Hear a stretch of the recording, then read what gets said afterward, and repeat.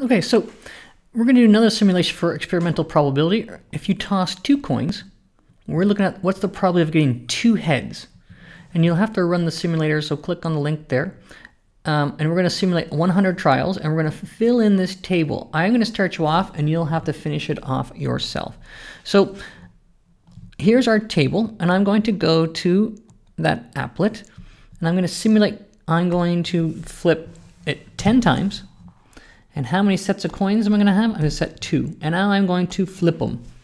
And I'm looking for two heads. Well, that's a dog. That's a head. No heads, no heads, no, not, not, not. So in this case, I have one pair of two heads. And so I'm going to write down, in my case, I have one, one. And so experimental probability is 1 divided by 10, which is 0.1. That's easy so far. Going to try the next one. I'm going to flip them again.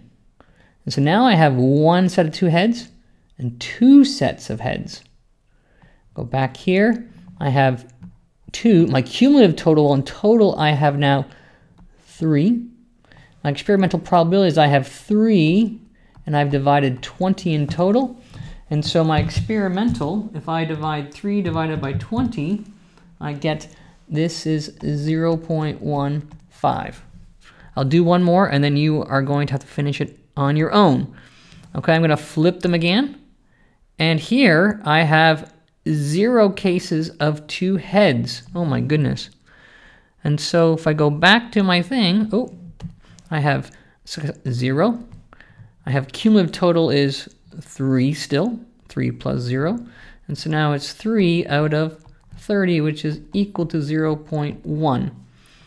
I want you to go and finish this table yourself. Once you're done, you take these values that you have here, you take these values, and we're going to put them onto here. So here are my values. I'm going to make an axis along the bottom. I'm to, and I'm going to make an axis along the side. And my axis along the side is going to be probability. I'm going to make, let's see what I have. I got 2, 4, 6, 8, 10. So I'm going to say that this is 10. This is, so 0 0.05. Make this, this 0. 0 0.05, 0 0.10, 0 0.15, 0 0.20, 0 0.25. And if I'm up here a little bit, hopefully I didn't make it too small.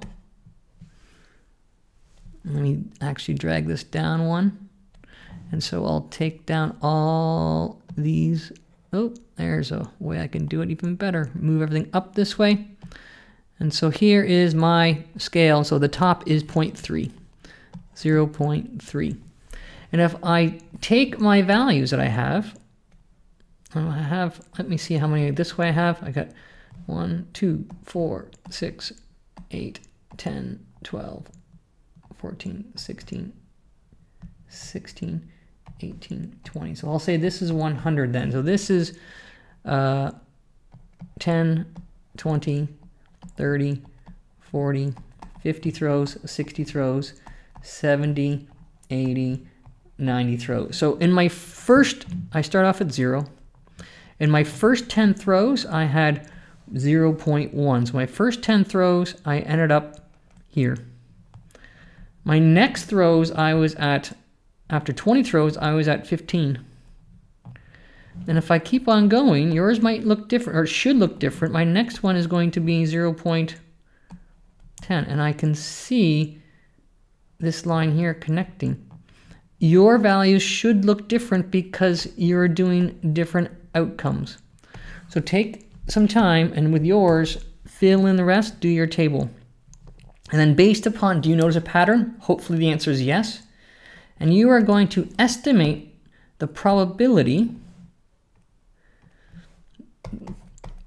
the probability of getting two heads based upon your simulation here. You should be able to have a value of that and it should relate to your graph.